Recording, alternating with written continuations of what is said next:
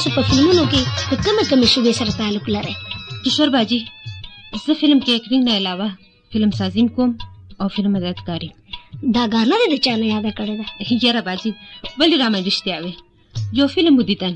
هغه کې تاسو یو غانا و ورک تمنې نوم شه دغه حالت چې نظر کې سو زړه بچا لور کې سو دغه زمانه کې ډیره ښه ده ډیره ښه ده دا خو به تا پکچرې شوې وه که نه که نه چې نو چې هغه ګانه ما کله واورېده که نه نو زما ګانې سره ډېر زیات شوق پیدا شو نو ما ویل راځه دا شوق پوره کړه او بیا دا شوق سني صاحب او صادق صاحب راته پوره کړو ډیره ښه ده ډیره ښه ده